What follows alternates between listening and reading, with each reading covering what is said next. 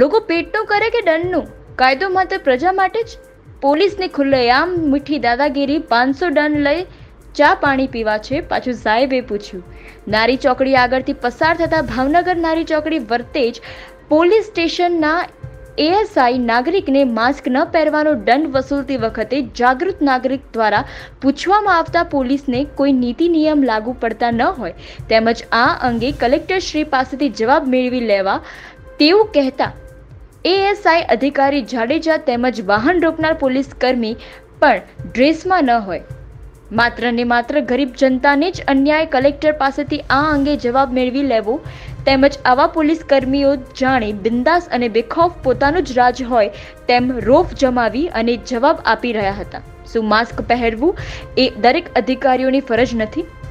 અને માસ્ક પહેરવાની ના પાડવાથી સામે કેટલો દંડ વસૂલ કરવામાં આવે છે? એ રકમ સરકાર શ્રી ક્યાં વાપરે છે? તેની કોઈ હિસાબ મળશે ખરો? એ રકમ સરકારી તિજોરીમાં જમા થતી હશે કે શું? એ પણ મોટો સવાલ બનીને ઊભો રહ્યો છે.